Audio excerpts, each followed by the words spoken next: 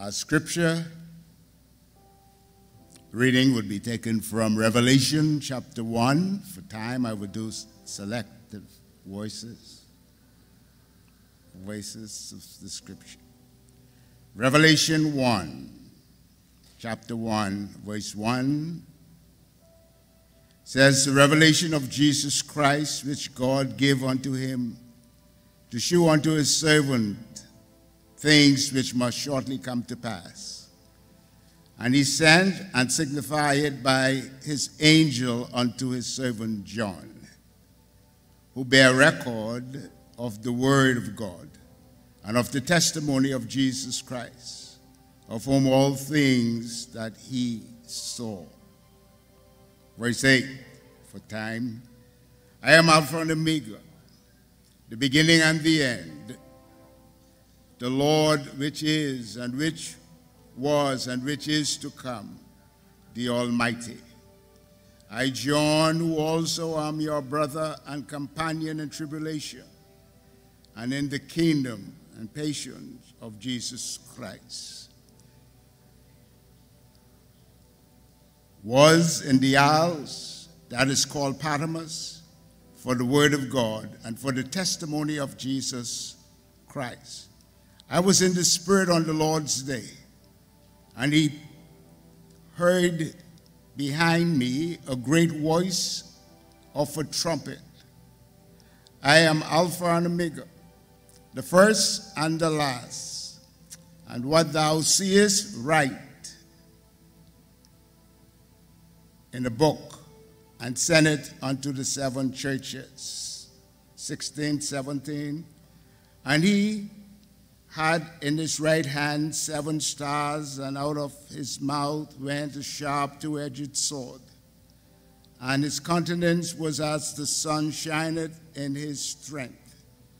And when I saw him, I fell at his feet as dead. And he laid his right hand upon me, saying unto me, Fear not, I am the first and the last. I am he that liveth and was dead and behold, I'm alive forevermore. Amen. And have the keys of hell and of death. He has the keys. If I should choose for a topic today, I want to choose the presence of God in difficult times. The presence of God in difficult times. Now, John was on the Isle of Patmos, an island eight miles long and five miles across the northern coast.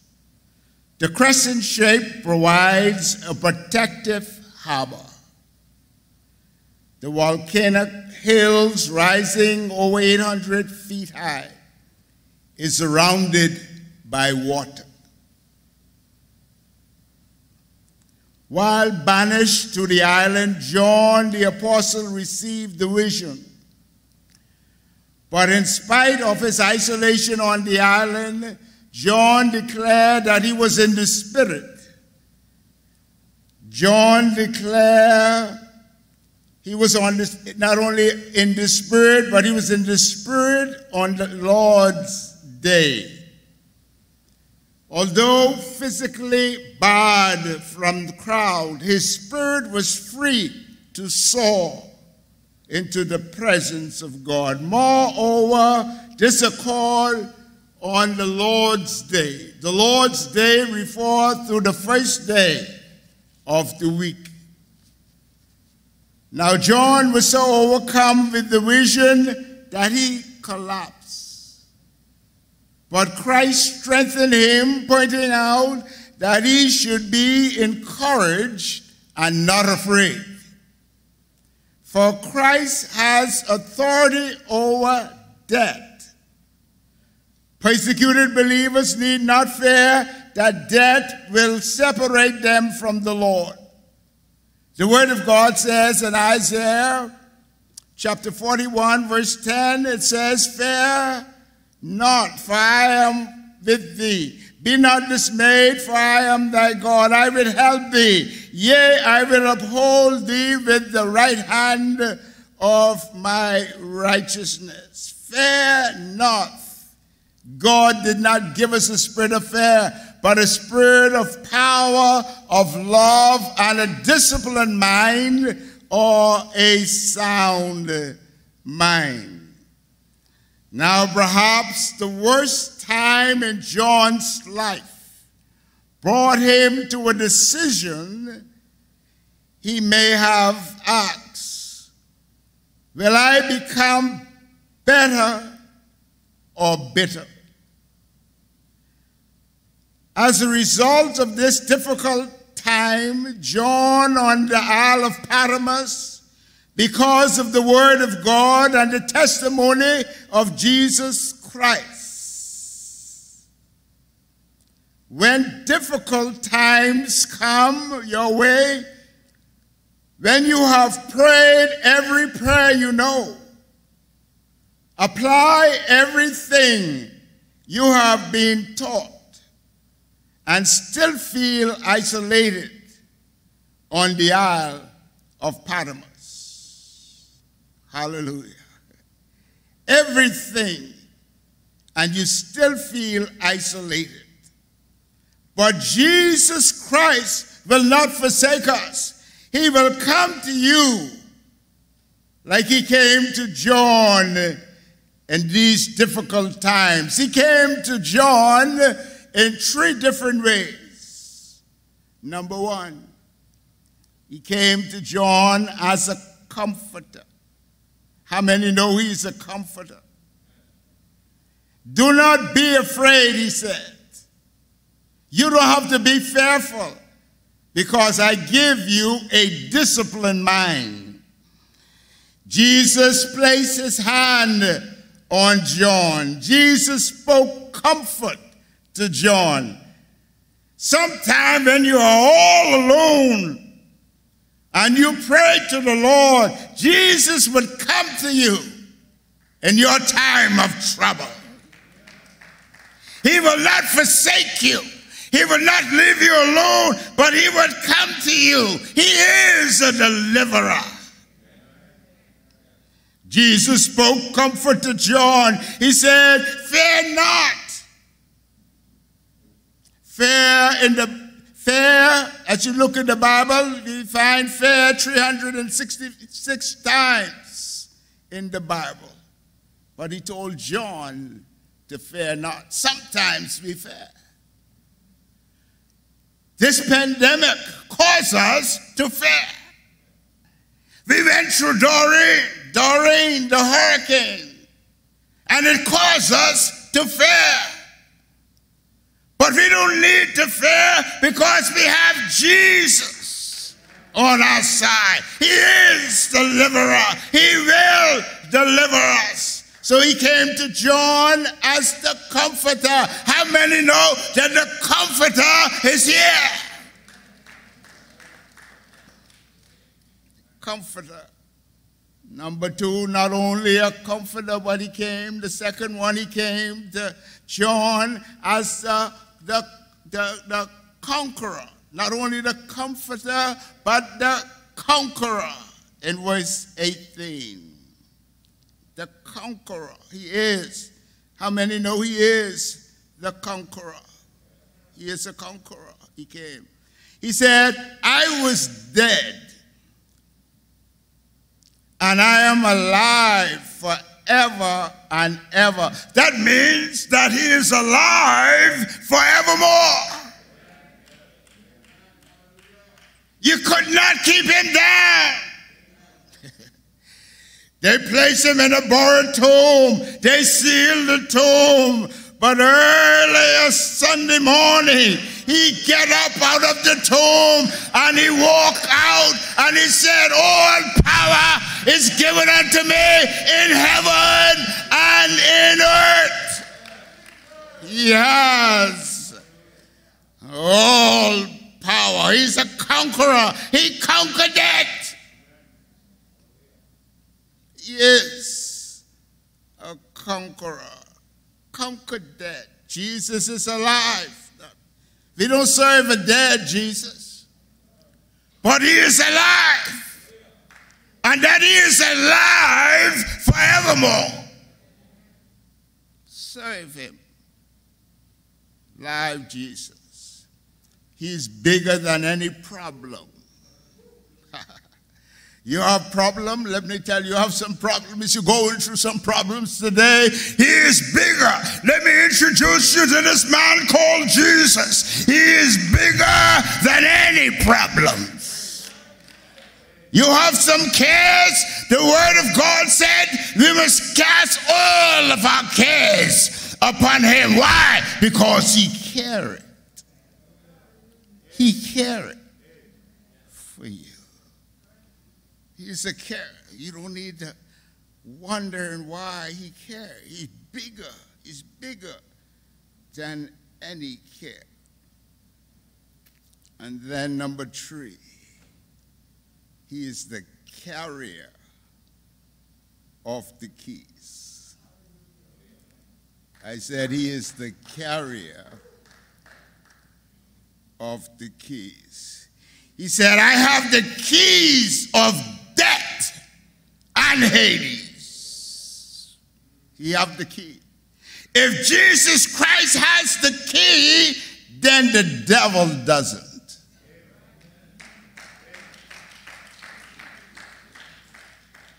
I said, if Jesus have the keys, we know the devil does not have, have, have the key. Hell has never created a lock Christ cannot open. Let me say it again. Christ has all power. Christ has the keys. We know the devil doesn't. Hell has never created, never, say never. never. Say never Hell has never created a lock that Christ cannot. Not will not. Christ, that devil, listen, he cannot. He cannot. Christ has all power and authority. All power and authority he has. I like what Jesus told Peter. Peter, on this statement, on this profession you made, on this statement, I grant you authority. On this statement, the gates of hell cannot prevail. How many know that? The gates of hell cannot prevail. Jesus came and spoke to the disciples, saying, All power is given unto me in heaven and in earth. Then he told them to go ye therefore and teach all nations, baptizing them in the name of the Father and of the Son and of the Holy Spirit. Be safe because Jesus has the keys. The presence of God in difficult times. How many know sometimes we go through difficult times, but God promised never to leave us. Amen. My mind go quickly on Jehoshaphat. Jehoshaphat faced the greatest crisis of his life. And he feared God. He was fearful. When he heard that those nation was coming against him, he called a proclaim fast. What a proclaim fast does is cause all of our minds to focus and go in one direction so we can hear what the Spirit of God is saying to the church. So Joseph, Jehoshaphat called a proclaim fast because he was fearful. He don't know what to do. And they start to pray. And they got the answer, a little fella, Jahaziel, Haziel, said, Look, the Lord said we don't have to fight in this battle because the Lord will fight for you. The Lord will deliver you. He is a deliverer. Whatever you're going through today, let me tell you, let me testify to you that God delivers. He delivers Shadrach, Meshach, and Abednego from the burning. The same God can deliver you. Whatever you face today, He is a deliverer. He will deliver you. He delivered Daniel. They threw Daniel in the lion's den and they thought they would meet just blood and bones. But when they came back, Daniel used the lion as a pillar because God was on Daniel's side. I don't know what God, I serve the same God Shadrach, Meshach, and Abednego serve. I serve the same God Daniel served. He is a deliverer. He is a battle axe. Trust him. And if you trust him and never doubt, he will surely bring you out. Some of us need to come out of some things, but let me testify and say to you today trust God. Trust God. Your, your situation is not your destination.